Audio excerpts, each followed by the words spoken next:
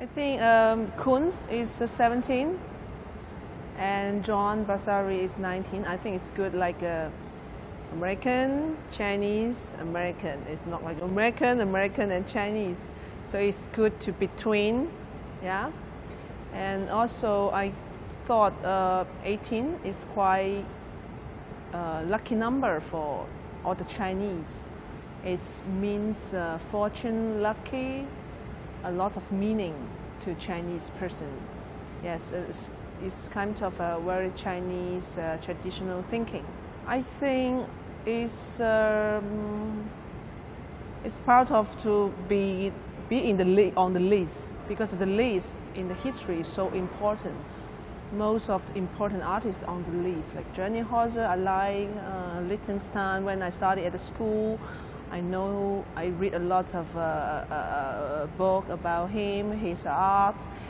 Of course, Andy Warhol is the star of the art.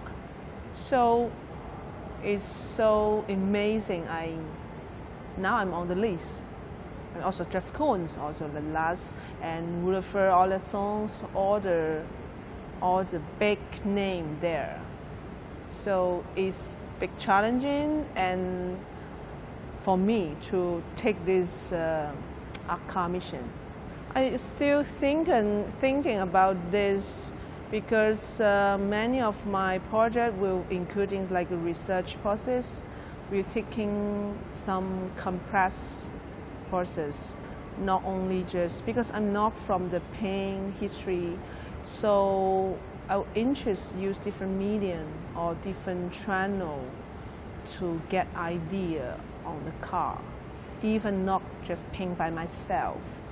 I think more come from the conceptual way to think about the car.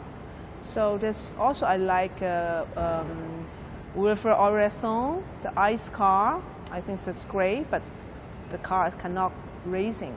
So it's most challenging for me is how to combine conceptual and also the car can racing.